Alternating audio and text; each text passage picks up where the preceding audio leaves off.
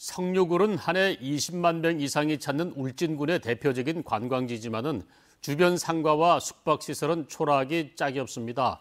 40년 가까이 재정비가 이루어지지 않은 채 방치돼 왔기 때문인데요. 쇠락한 구도심에서와 같은 재생 사업이 시급합니다. 한기민 기자의 보도입니다. 우리나라의 유서 깊은 석회 동굴인 성류굴입니다.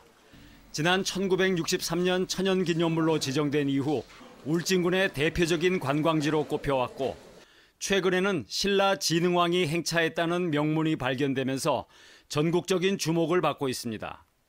하지만 이 같은 명성에도 불구하고 동굴 입구 상가는 민망스러운 모습입니다. 건물 14동 가운데 대부분이 비어 있고 상가 뒤쪽은 잡초만 무성한 채 흉물로 방치되고 있습니다. 지난 1981년 관광지로 지정된 이후 40년 가까이 재투자는 물론 정비가 이루어지지 않았기 때문입니다. 문화재 보호구역으로 묶여 있는 점도 걸림돌입니다.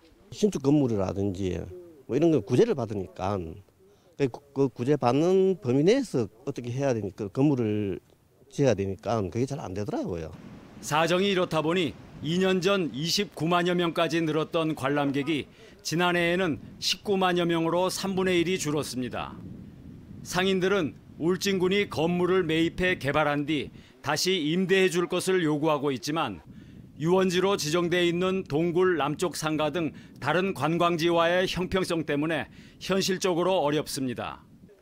이에 따라 낙후된 구도심을 다시 살리는 것처럼 주민들의 자발적인 노력과 정부와 자치단체의 지원을 통한 관광지 재생 사업의 필요성이 커지고 있습니다. 주민들이 할 수 있는 부분이 한계가 있기 때문에 행정에서 나서서 재정비를 할 수 있도록 도와줬으면 좋겠다 그런 의견입니다. 울진군은 22년 전 수립된 관광지 조성 기본 계획을 현실에 맞게 변경한다는 방침이지만 아직 구체적인 재정비 방향은 잡지 못하고 있습니다.